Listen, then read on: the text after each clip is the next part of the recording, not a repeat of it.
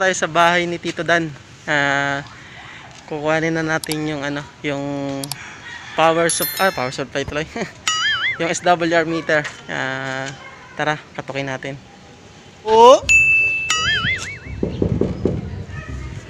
Tapo. Kay Tito Dan po. hindi po. Ah, hindi po deliver. Si si, si Tito George po. Sige po. Ah, sige po. Salamat. Na, napagkamalan pa tayo, no? Delivery pa rin. Hindi na, hindi na naman nagdi-deliver. So, hintayin natin si Tito Dan. At ah, mukhang wala pa yata dito sa kanilang bahay. So, yun. Makikita nyo yung kanyang antena mas napakataas. Yan. Oh my God! Wow! Pinaba na muna yung antena nun. Ah, X520 yata ang antena. Napakataas ng antena ni Tito Dan. Antena mas. Hintayin na lang natin dito. A few moments later. Kinabay, galing palengke. Yan, Tito Dan. 4i1, Mike Whiskey Shera. Yan, video. Yan, ganda nga, gandang gabi. Yan, yan, ginabi na tayo, ginabi na. Ah, dito na tayo. Nasa palengke pa lang, ah, Tito Dan. Ah, nandito na yung ano, yung SWR. Sponsored with uh, 4i1 MWS. SX 400. Yan. Dual band. UHF, UHF. BHF, UHF, pwede. Tapos may... Pinaano ko na kay Tito George, pinapamana ko na. Alalalan? Pinapamana ko na sa iyo. Pinapama naman na sa akin. Wow! Pre, May kasamang... Cord. ah, Patch cord. Patch cord yung tawagin. para sigurado gagamitin na lang ni Tito Oh. Kaya, tingnan natin. Ano? Oh. Ang kinis pa, oh. Naka iPhone, ano yun? IPhone ba ito? Apple. Sticker. And SX400. Pwede sa BHF, pwede sa UHF. Dual band. Dual bander. Hanggang 200 watts. Pwede sa 5 watts. Yan. Power call. Ka- calibrate. SWR. Forward off. Yan. Ilang months na nga to, Tito Dan? Uy, pwede.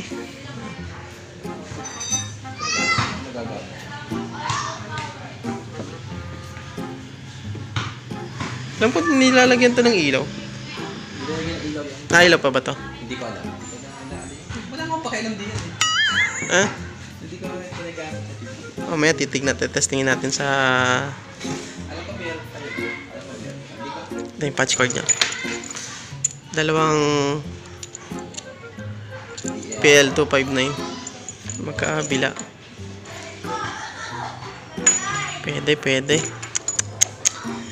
Ayun. Uwi na natin ito mga makisig sa bahay. Ah, salamat kay Tito Dan. Tito Dan, thank you so much. Ah, Thank you, fast George. transaction. Uh, shoutout, kung baka may gusto kayo shoutout. Ah, wala naman. DXan T. Net Yun, call. net call. DXan Papa Net call 8 to 9 p.m. Monday to Saturday. Ano. So, ano ako na ngayon? Naka, nakalib ako. Lib pa rin. Babalik ako by January, February. Sa Ayan. pamilya. Thank you, thank you. Abangan niyo. Meron tayong magagamit pang sukat ng ano, mga base antenna. Yan, lalo na doon sa mga mini G7 natin.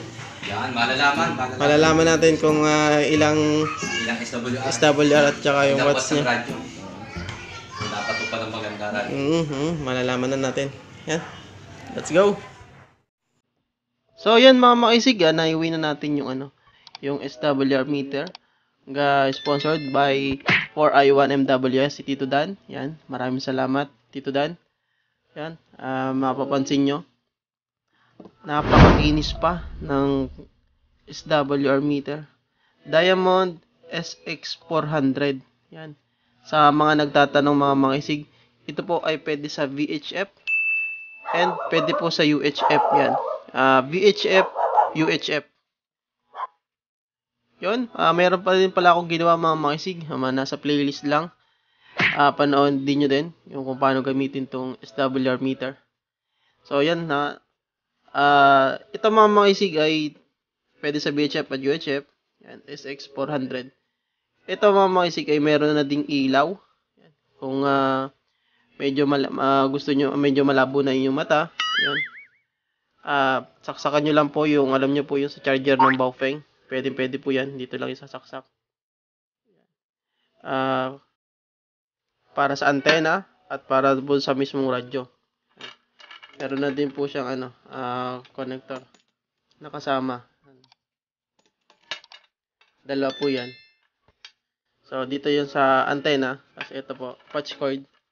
Ilagay nyo po dito. Ibaw nyo lang. Yan. Then, meron niyang konting gitli. Itatama nyo lang po dun yung mismong para hindi na po gumalaw. Tapos, yung kabila po, sa mismong unit. Sasalpak nyo yan. Tapos, dito nyo po ilalagay yung inyo pong antena. Pwede po VHF, pwede po UHF. Maalin po dun sa dalawa.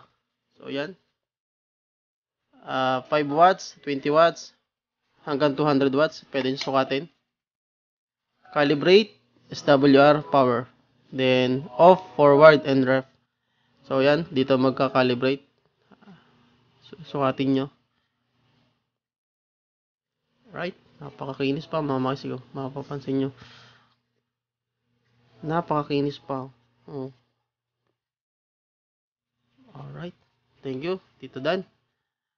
Ah, for I1MWS. Napaka-fresh pa ng iyong ano. SWR meter. Sa mga nagtatanong mga makisig, ang brand nyo po ng ating SX400 is almost around the 5,000 hanggang 6,000. Ganun po yung mga brand nyo nito. Depende din sa pagbibilan nyo. Pero ganun ang price nun. Alright. Ah, sa susunod natin video mga makisig, abangan nyo. Susukatin na natin yung mga radyo, antena. Sa mga gusto magpagawa ng video, comment nyo lang dyan sa baba. Comment down below. At gagawan po natin ng ah, video tutorial. Kung anong unit. So, yan. Hanggang dito lang siguro muna mga makisig.